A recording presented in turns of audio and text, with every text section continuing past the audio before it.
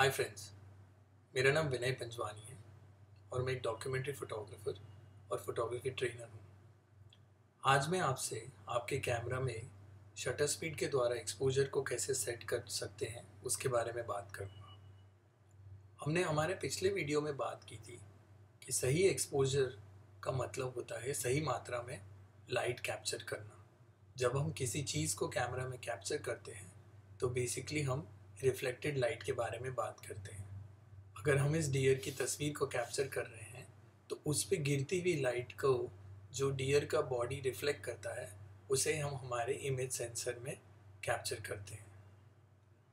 अगर हम उस तस्वीर को ज़्यादा ब्राइट कैप्चर करेंगे तो उसे ओवर एक्सपोज कहेंगे, बहुत डार्क कैप्चर करेंगे तो अंडर एक्सपोज कहेंगे, और बिल्कुल सही मात्रा में उसे कैप्चर करेंगे, जो विजुअली सही लगे तो हम उसे बैलेंस्ड या करेक्टली एक्सपोज कहेंगे। हमारी कोशिश हमेशा एक बैलेंस्ड एक्सपोज इमेज लाने की होनी चाहिए। हमने हमारे पिछले वीडियो में एक्सपोजर ट्रायंगल के बारे में भी बात की थी कि एक्सपोजर को अपर्चर शटर स्पीड और आईएसओ के द्वारा सही एक्सपोजर लाया जा सकता है। आज हम सिर्फ़ शटर स्पीड का उपयोग करके एक्सपोजर कैसे चेंज कर सकते हैं उसके बारे में जानकारी लेंगे।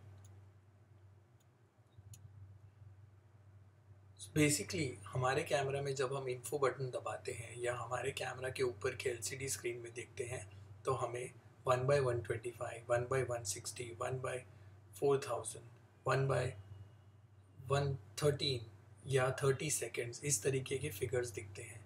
ये बेसिकली आपका शटर स्पीड के वैल्यू हैं। इन वैल्यूज़ को हम शटर डायल रोटेट करके चेंज कर सकते हैं। बेसिक डी मॉडल्स में जिसमें डेडिकेटेड शटर डायल नहीं होता, हम प्लस माइनस बटन दबा के अपर्चर वाले डायल को घुमाएँगे तो उससे शटर स्पीड चेंज होती है। बेसिकली शटर क्या होता है? हमारे इमेज सेंसर से बिल्कुल पहले एक शटर को इंस्टॉल किया जाता है, जो एक पर्दे की तरह होता है और लाइट को सेंसर को हिट करने से पहले ब्लॉक करता है। हम ये सेट कर सकते हैं कि कितनी देर के लिए लाइट सेंसर को हिट करेगी और कितनी देर के लिए शटर खुला रहेगा और बंद हो जाएगा। सो so बेसिकली अगर हम हमारे कैमरा में देखें तो शटर यहाँ पर होता है। बेसिकली हम शटर के खुलने और बंद होने का समय शटर स्पीड के द्वारा सेट कर सकते हैं।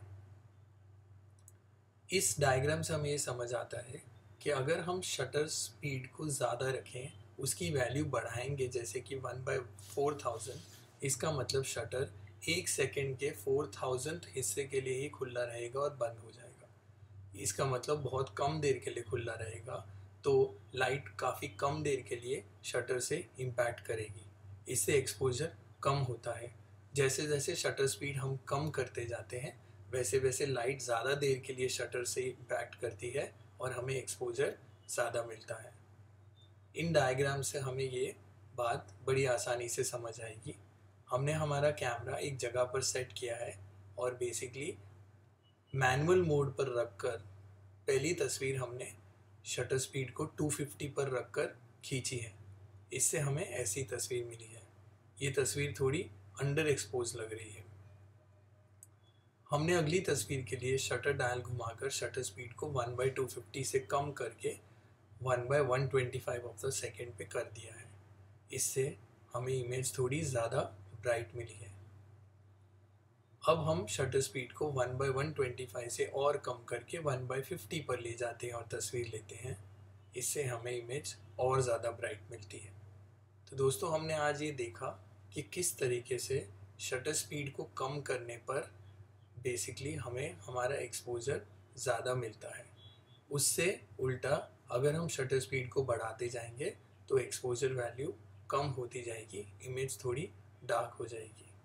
हमें एक चीज़ का खास ध्यान रखना है कि अगर कैमरा ट्राईपॉड पर माउंटेड नहीं है तो बहुत स्लो शटर स्पीड जैसे कि ये एक शॉट मैंने one by one thirteen of a second पे लिया है हैंड हेल्ड उससे अगर मेरा हाथ हिलता है तो इमेज ब्लर आती है। और हमें इसे अवॉइड करना चाहिए। बहुत ज़्यादा स्लो शटर स्पीड होने पर हमें कैमरा को ट्राईपॉड पर माउंट करना चाहिए।